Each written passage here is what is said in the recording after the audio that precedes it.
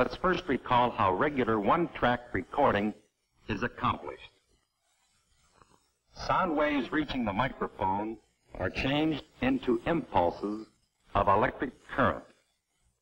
Increased in strength by the amplifier, they flow to the cutting head, moving it back and forth and cutting from side to side in the groove of the record. To play it back, we substitute a stylus for the cutting head. The tip of the stylus swerves back and forth, side to side in the groove, bending the ceramic bar to which the stylus is attached. When a ceramic bar is bent, tiny impulses of electric current are produced. These impulses of current, again strengthened by an amplifier, are carried to the speaker, where they are converted back into sound, the same sound we had at first.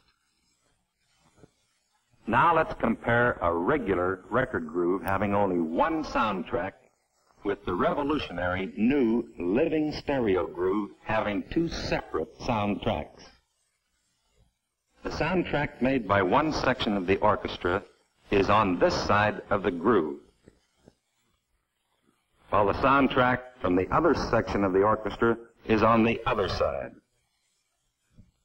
To play it, we use a special stereo pickup developed, designed, and most important, manufactured by the Radio and Victrola Division of RCA.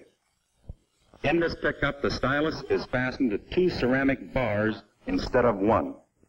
As the tip of the stylus moves to the right, it bends the bar on the left, producing impulses of current. As it moves to the left, it bends the bar on the right, again producing current. Now let's take another look at our living stereo record groove with its two separate soundtrack impressions, one on each side. In cross section, it looks like this. A V-shaped groove, 45 degrees on each side. Let's put our living stereo stylus in this groove. As the record turns, the right side of the groove reproduces the sound from the left-hand section of the orchestra. The left side of the groove reproduces the sound from the right-hand section. Now, both at once, two totally different soundtracks coming from one groove on one record with one stylus.